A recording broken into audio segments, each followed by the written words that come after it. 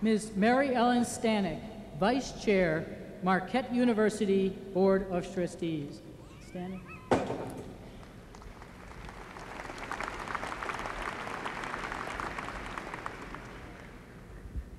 Cokie Roberts is truly a distinguished journalist, broadcaster, and author.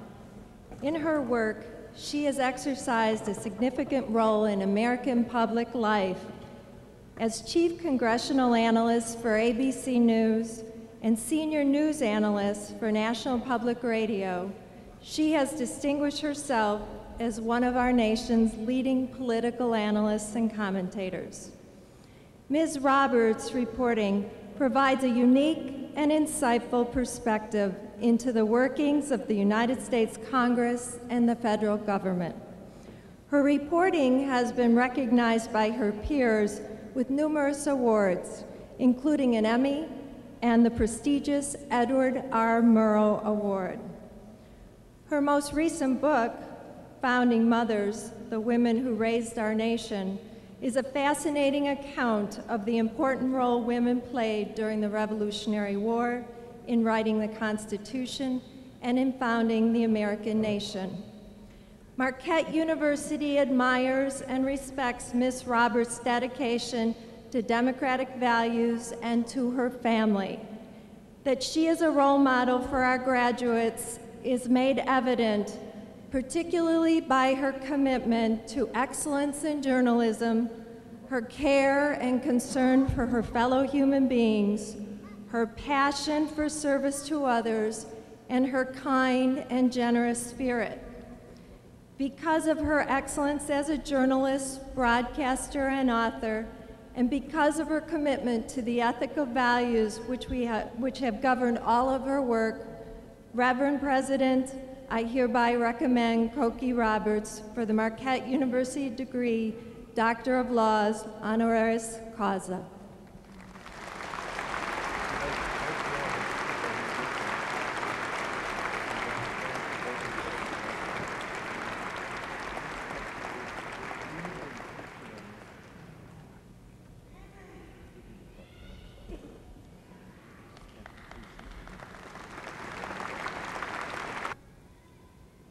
Uh, Let me invite the, uh, those who just received the honorary degrees to please stand.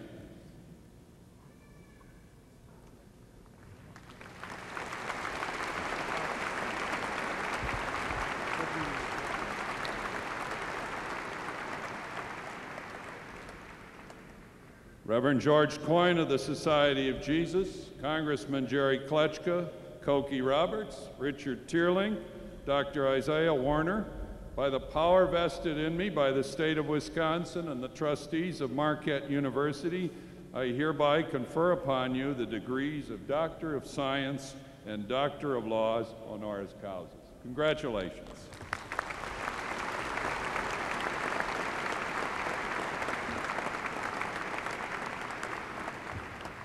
Ladies and gentlemen, I present Dr. Cokie Roberts, political commentator for ABC News, who will deliver the commencement address.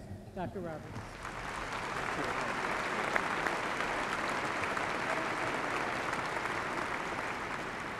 Well, thank you so much. I'm thrilled to be here with all of you graduates. Uh, it's here. You've made it. The day has arrived. I'm also pleased to be with my fellow honorees um, and to be standing at a lectern uh, where Barbara Bush stood not too long ago, uh, giving this graduating address. She is, of course, by Laura Bush, called The Enforcer, uh, which is her reputation in the family.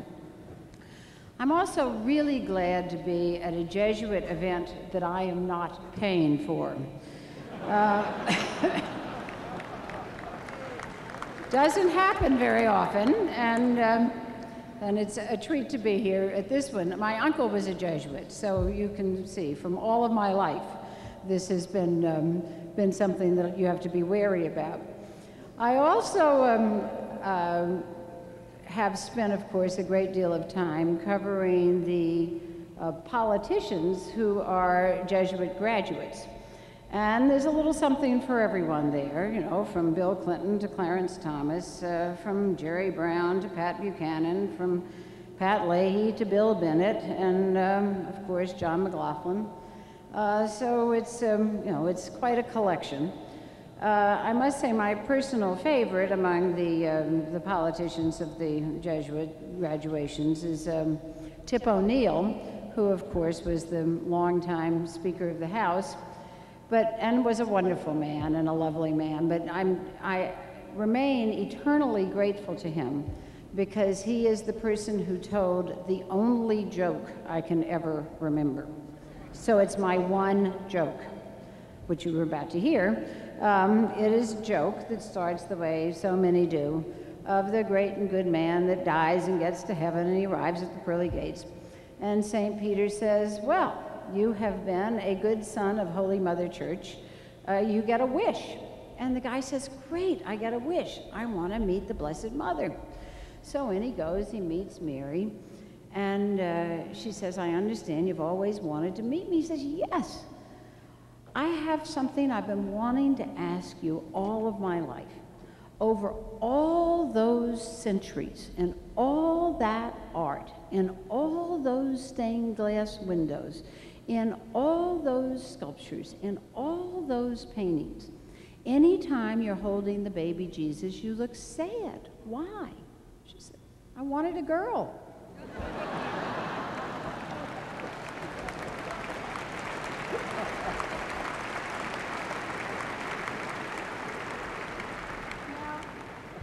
I promise you, you will never be able to look at a Madonna and child again.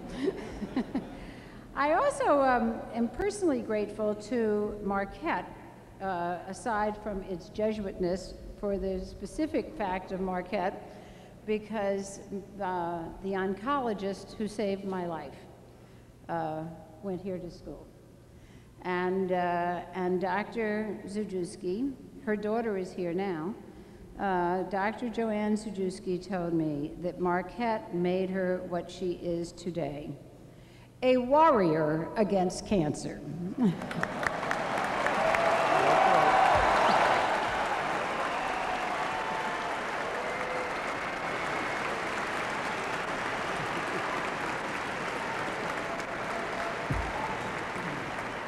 I'm sorry, trustees, I couldn't help it. Uh, and I promise you, I will not do what last year's commencement speaker did, is offer you a, a million or two million, I'm confused about that, on, uh, to, to change the name back. In fact, I'll be happy for Carfair Home. But, um, and I, I know this is a, a somewhat painful issue, you know, it's, I hear it from politicians all the time. You don't notice all the good things we're doing. You only pay attention to silly stuff like this. I just had a conversation with Tom DeLay the other day, and uh, I, um, but uh, I have to say I, am personally happy because um, I, um, I showed up as a result of, of your tribulations with the name on the sports page of the New York Times. My name. That would have never happened otherwise. Um, and I have gotten some wonderful emails um, about this. Um, uh, one uh, suggested that you should call yourselves the Harleys, which I think my fellow honoree, Mr. Teerlink, would be uh, very happy about. Uh, the one that I heard on All Things Considered that I thought was quite wonderful was the Jumpin' Jesuits, um, which, you know, given the new regime in Rome, could be the case. They could be jumping a lot in the days to come. Um, but um, I, I, uh, I will leave that now and let you all work this out yourselves. But um, I do want to talk to you today about uh, politics and politicians. Now, uh, not just those who have graduated from Jesuit schools, um, uh, and not just my fellow honoree, uh, Jerry Kleczka.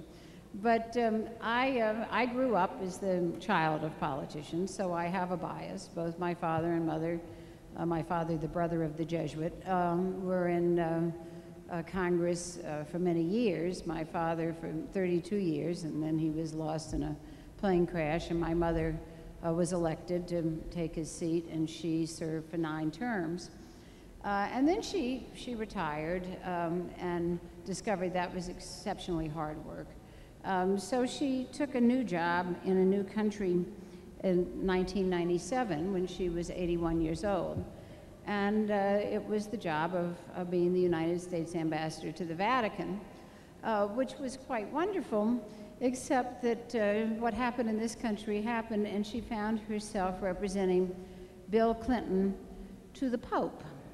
Now, it was a challenge, and uh, if anybody could do it, uh, my mother could, uh, but I'm happy to tell you she is now uh, safely back on Bourbon Street in New Orleans, which is where she lives. Um, she is 89 years old, and she lives by herself on Bourbon Street. And if you have been to Bourbon Street, you've been to my mother's house. It's not like out someplace nice, you know. Um, in fact, when the children were small and would walk past the strippers and the other neighbors, I would say, through the woods and over the hills to grandmother's house we go. and then she moved from Bourbon Street to the Vatican, and I teased her that the costumes didn't change. It was, it was still guys in dresses, you know, but. Um,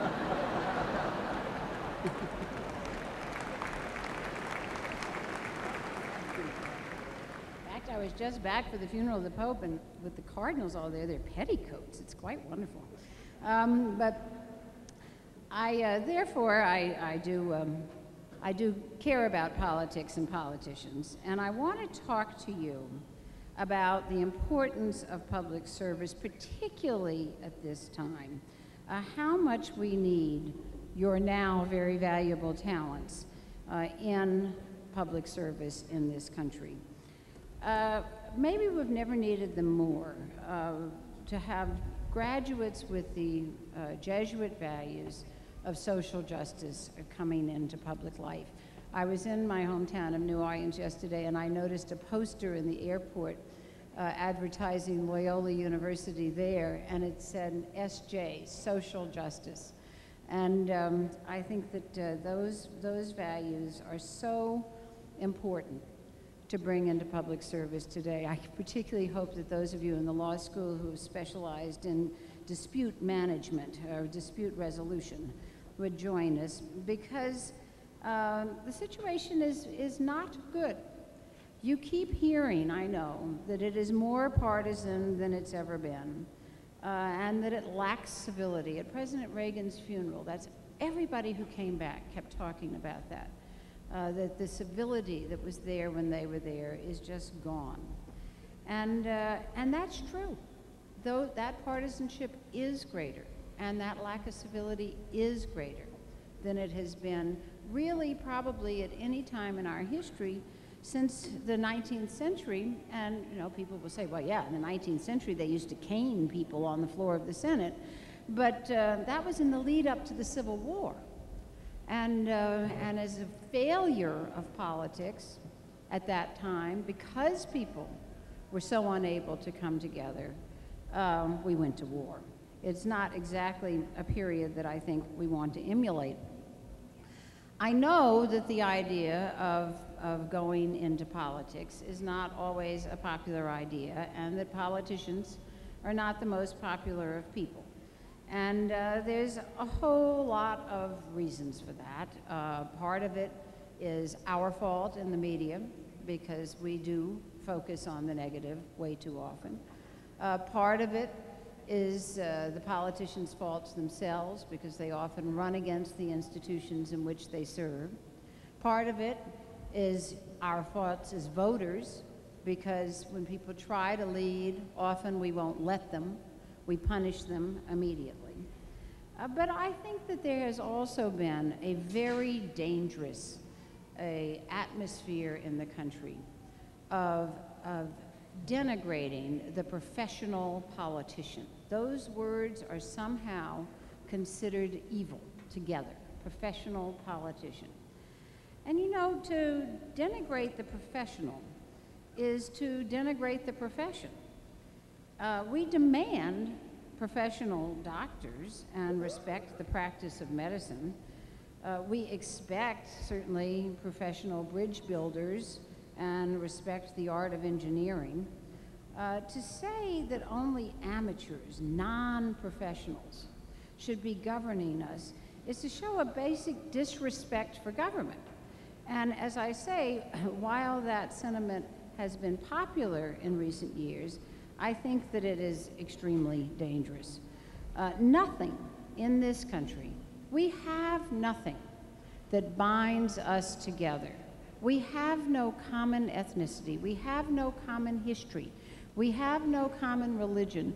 We don't even have a common language anymore. Nothing binds us together except our government.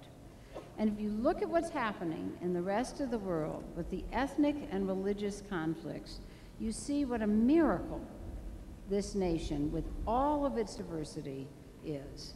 And, uh, and it is because of the institution that the Constitution, that one great document that, that glues us together as a nation, and the institutions it created uh, have the effect that they have had over the centuries uh, have been the reason that we are a country that can come together.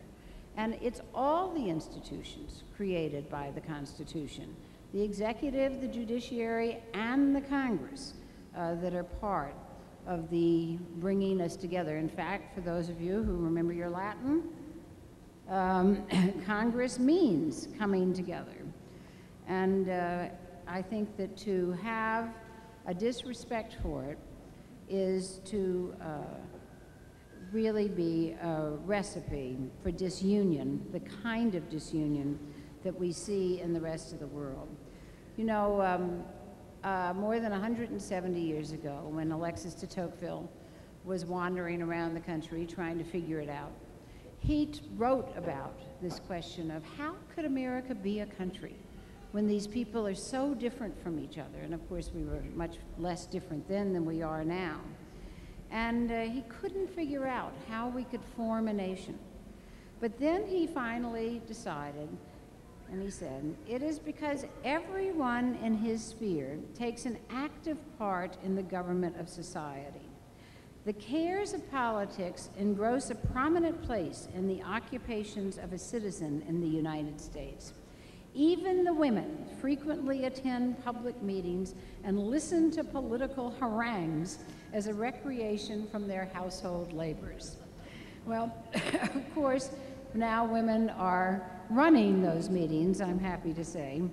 And, uh, and I think that um, I, I, I remember reading a wonderful quotation from a woman who did run for office saying, I either had to run for office or stop complaining, and I knew I couldn't stop complaining. But the fact is that now that you have the influx of women and minorities into elective office is an even greater reason to uh, have respect for them. These are not institutions closed off to segments of the American populace anymore. And, uh, and that was a result of a great deal of effort, but it also should, should have the effect of uh, giving you a sense of the importance of this kind of public service. Uh, I know that your own representative, uh, graduate of Marquette University, uh, certainly understands that, Congresswoman Gwen Moore, who uh, learned the hard way what it was like to get an education, support a family, and is now trying to give back through public service. And of course, service is what it's all about. And this institution has a wonderful tradition of service. And in all of your lives, you will give service in one way or another. The engineers and scientists among you, like Dr. Coyne and uh, Father Coyne and Dr. Warner, uh, will improve all of our lives. Those of you in the humanities can enrich all of our lives. Those of you in communications and teaching can inform all of our lives. Uh, those of you in the healthcare professions uh, can enable all of our lives. Uh, those of you in bus business can enhance our lives. And those of you who are mentors like Mr. Teerlink and Dr. Warner can guide all of our lives. But as you go forth from this wonderful place and look at the life ahead, let me commend the particular kind of service that Congressman Kleczka represents. Public service, it holds such an important place in our history as a nation. It is the thing that brings us together and keeps us together as a country. It's tough work, but you are now Marquette graduates. You can do it. Go out there into the fray. Thank you.